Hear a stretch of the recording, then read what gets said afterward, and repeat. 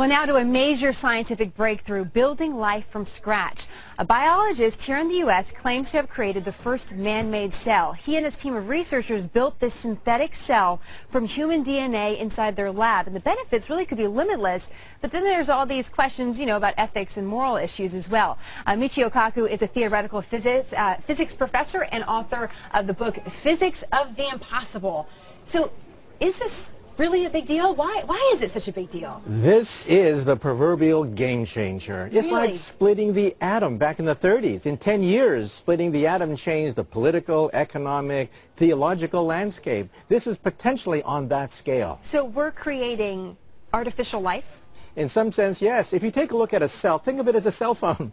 We download apps onto the cell phone all the time. So this time we took a cell from a goat and actually downloaded new DNA that we programmed. we even so pro a cell from a goat then with human DNA? Well, different kinds of, of junk DNA was put in. Uh, even uh, James Joyce, quotations from James Joyce, biography of uh, J. Robert Oppenheimer, all sorts of stuff was put in. The, the point was that it was artificial. Got it. And that's why this is so novel. So what can we do with an artificial cell? What could be some of the benefits? We can tailor make it to do certain things like eat oil slicks. No kidding. Exxon is very much interested in commercializing this technology. Already there are negotiations with talks. Also, global warming. You could create bacteria that are specifically designed to eat up carbon dioxide. Well, this story reminds me of Jurassic Park when all the dinosaurs got out and ran amok. I mean, there can be some unintended consequences That's too, right. right. You cannot recall a life form. You can recall a bad Toyota or General Motors car. You cannot yeah. recall a life form. And also,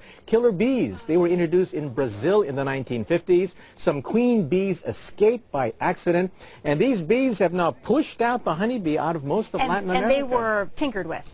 Uh, no, they weren't tinkered with, but they were came from Africa, deliberately introduced from Africa to Brazil I to see. see whether we could get a better hybrid mix, but it was out of control. And now they're penetrating to California, uh, Texas, and so Arizona. an example of unintended consequences, real quick, as a physicist, a physicist, mm -hmm.